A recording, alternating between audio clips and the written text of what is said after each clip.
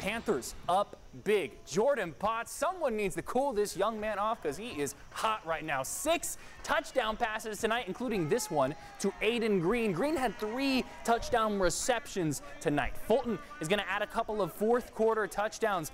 However, this next play would not be one of them. Tommy Sweat drops back to pass. Carson Whitehead says, I will take that, sir. And now I will go home. He's just going to keep on running.